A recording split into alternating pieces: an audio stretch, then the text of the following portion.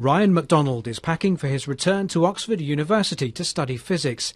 In 10 years, he could be packing for a space flight to Mars, knowing he can't come back to Earth.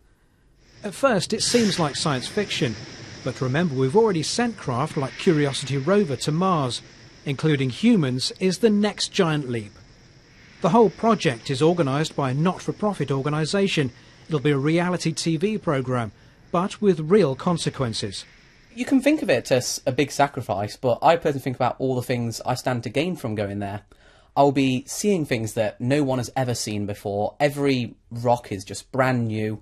Um, just imagine who in history has ever seen a blue sunset over a mountain that's so high that you can't even see you're standing on it.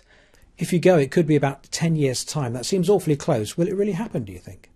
The reason why we haven't had space agencies do this already is because they've always wanted to do a return mission, and the technology to do a return mission just does not exist yet. Because you just need to carry so much fuel to get there, land, take off, and return to Earth. But a one way mission can be done.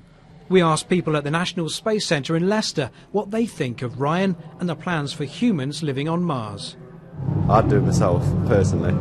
It's like, um, I think it's a goal for mankind to reach a different planet He'd be the first person on Mars, and it's going to be a bit tough for him being the first person, but I think he'll do it alright. I think it's quite likely that he might be selected because he's very determined. When he puts his mind to something, he'll get it done. But I think if he was selected, I, I wouldn't actually let him go. In the next couple of years, Ryan hopes to make the final selection. He says Mars will be a good place to retire. Simon Ward, BBC East Midlands Today, Derby.